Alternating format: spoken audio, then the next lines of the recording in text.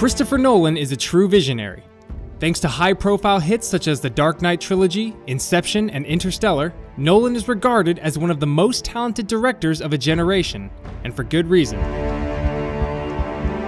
Dunkirk is set to take the cinematic experience to the next level. Throughout his career, Nolan has pushed the boundaries of what is possible, relying on traditional techniques instead of ultra modern technology. But why does this make Nolan unique? As well as creating complex, unique, big budget blockbusters, Nolan is a devout traditionalist.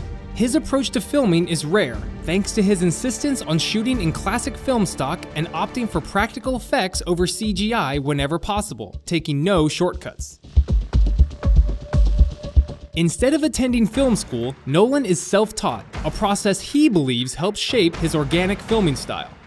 He paid for his first feature, The Following, shooting scenes on weekends while working full time.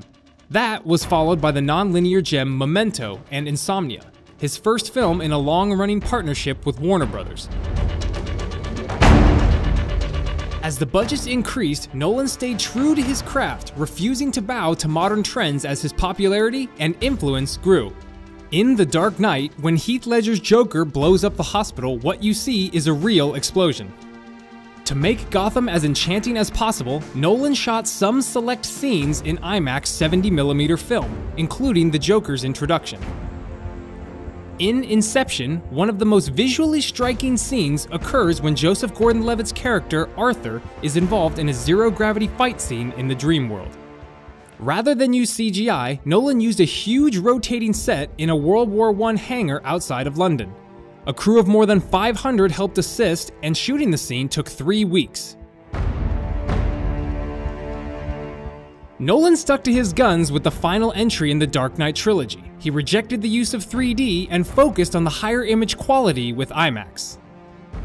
Whereas The Dark Knight includes 28 minutes of footage shot in IMAX, The Dark Knight Rises includes over an hour, Nolan went to space for his next feature, Interstellar, again preferring to shoot on film using a combination of IMAX 70mm, 70mm, and 35mm.